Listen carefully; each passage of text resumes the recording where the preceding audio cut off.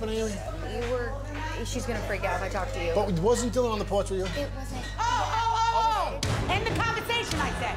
End Why? it, end Are end we supposed I didn't to talk about anything. things? End it. I don't want to end it. What's going on today? Amy told me, do you mind when Joe blow kisses at other women? When they said, what?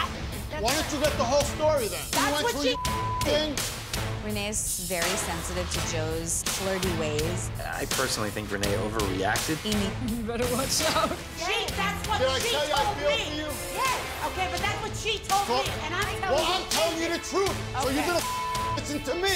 Dillon was 'Cause there. I know these it was girls were- after she but went these girls after she went me. through all her. They were standing I with said me, I. so they heard Shut up! I said I feel. Dillon was there too. Now apologize again No, and end. I'm not going to apologize whatsoever. Renee definitely goes from zero to 100. You would think that you would ask a man first before she listens to somebody else.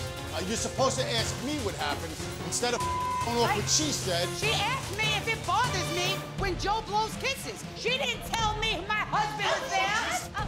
Uh, I'm sorry. You don't gotta apologize.